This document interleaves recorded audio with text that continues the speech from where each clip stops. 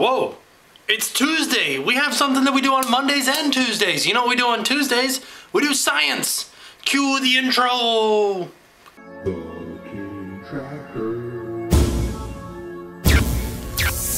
I bet you guys are wondering what you need or what you can do with all of your old CDs. Like this is a burned copy of The Last King of Scotland.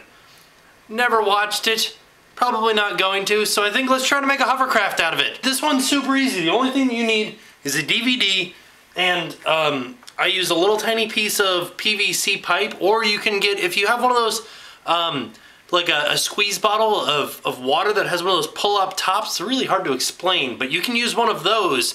And all we're gonna do is we're going to glue, and it's really easy with hot glue, but be super careful with hot glue. But just glue the piece of PVC or the top uh, to the top of the CD or DVD like this, and then stick a balloon on the top. See, I had to do this beforehand because this is my this is the last balloon and I had to actually salvage one from our last party that we had. The only glue that I could find is some uh, CPVC cement. I don't know if that's gonna work. This is actually CB, uh, no, this is just regular PVC. It's thick wall, but it, it'll work with it and I'm hoping that it'll work against this DVD too. All that it does is it melts the plastic and then they fuse together. So I'm hoping that it's gonna work. So let's give it a try. You guys can see all I did here was just kind of glue this up right in the center of the CD with my glue, which I don't know if it's gonna work or not. I hope it is. And if you guys use hot glue, it definitely will work. And it'll work better with the top to a water bottle because it'll slow down the air coming out. What I'm gonna have to do is I'm gonna have to put like a little piece of screen inside of there to make sure that the air isn't coming out too fast. Because if it comes out too fast, it's just gonna fly everywhere. But if it comes out nice and slow and regulated, it'll float a lot better. And if you have the little cap top thinger, you can close it down and keep the air in the balloon so you don't have to worry about it escaping all over the place. And you can actually blow up the balloon through the bottom of the CD and close the valve and let it just sit there full of air and then set it on the ground and when you're ready open up the top and I'll show you guys it floating here in a second. You guys are gonna try it floating with me for the first time. I haven't ever tried this before, we'll see if it works. It's really hard to blow up this balloon but I got a little bit of air in there. Oh no, it's all coming out now. Oh great. Let's try it. Heck yeah, I found a secret Halloween stash of balloons. This one will work much better. There we go. Hovercraft away. Look at it hovercrafting so craftily hovering. Yeah. I want to try it without the screen because that was kind of like uneventful. Let's do it without the screen. And it's really going to blast off. Here it goes without the screen. It's going to be crazy. Oh, it's not really that crazy, but I mean, it's, it's working a little bit better. Oh, almost went off the edge there.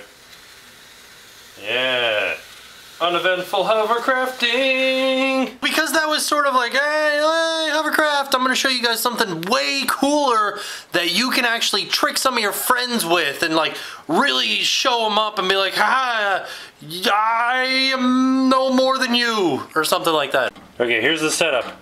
You've got two cups that are in the sink completely submerged and you take them and stick them head to head like this and stand them up so that one cup is on top of the other and they are both full of water. So your end result looks like this. And then you say to your friends, you say, all right, here's what I want you to do. I want you to take one of those cups of water and empty the water completely out of it, leaving them in the exact same position that they are in without touching them with any part of your body or with any utensil. And they look at you and they go, what? Well, that's impossible. And then you say, ah, ah, ah, I bet you five bucks it isn't impossible. And they go, okay, you're on. Because they're apparently not that smart that you set up the trick and that there's obviously a solution to it because you set it up. And they're going to owe you five bucks. Check this out. You guys want to know what the trick is? It's a straw. And now what you need to do is blow through the straw gently right there.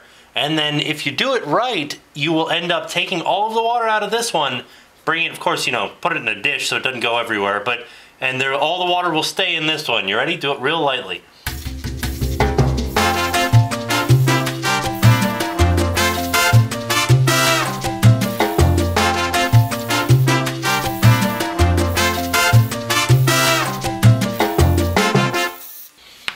And there you have it. They owe you five bucks. There you go, folks. Two super easy science experiments that blow.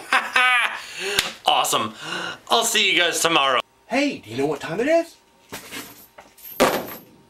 It's time to pay the price.